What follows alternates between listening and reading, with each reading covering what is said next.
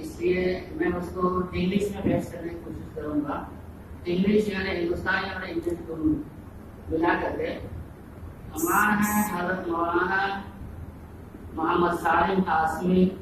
His contribution through All India Muslim Person and Logo.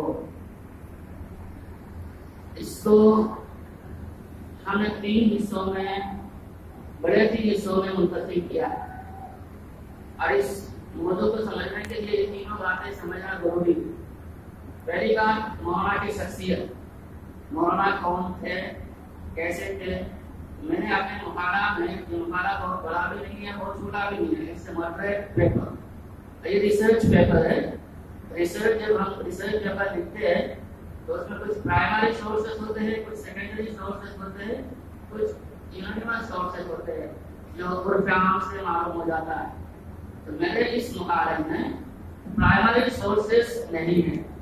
इसलिए नहीं है क्योंकि मेरा मौलाना से जाती तौर पर मुलाकातें तो हुई है, बुज़ुर्ग के हैसियत से, देखे भी हैं, दुआया भी है काम काज के ताल्लुक से मुलाकातें नहीं है।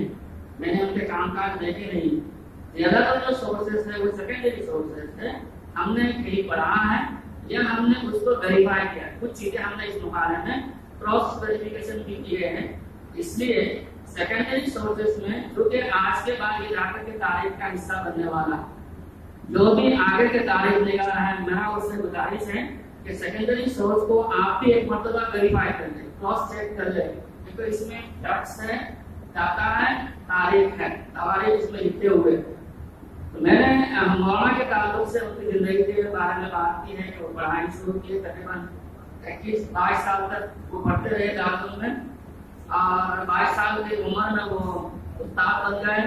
तकरीबन तैतीस साल, उन्नीस सौ अड़तालीस तक वो पढ़ते रहे। अड़तालीस में उस्ताद बने और तैतीस साल पहले उस्ताद बने रहे उन्नीस सौ इक्यासी तक। ये इसमें तफसील से तीन पेज में है।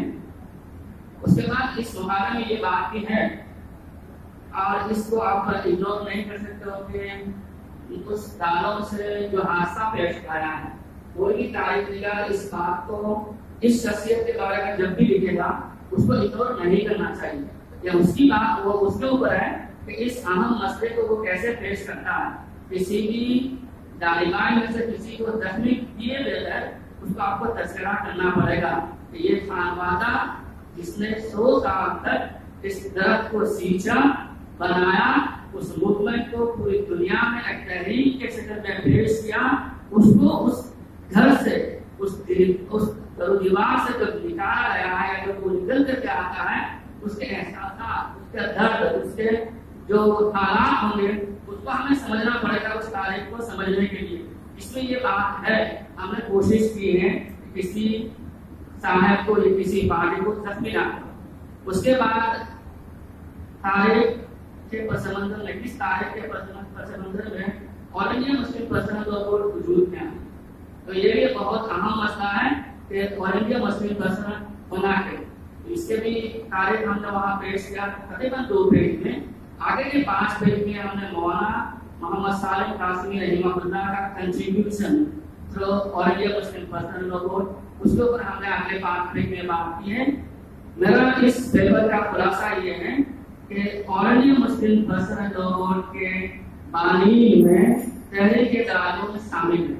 जिस तरह तहरीक ताल्लुक में जमात तबलीग, जमीयत उलामा, मदारिस और मकातीब का बुनियाद रखा उसी तरह से तहरीक ताल्लुक ने all India Muslim personal law का बुनियाद रखा और उस बुनियाद में हकीम मोहम्मद तारिक तरीब रहमहुल्लाह और उनके फर्जन मौलाना मोहम्मद सालिक कासिमी, इन दोनों हजरात का किरदार रहा है। सबसे पहले जब मीटिंग मुंबई में हुआ था, उन्नीस सौ बहत्तर में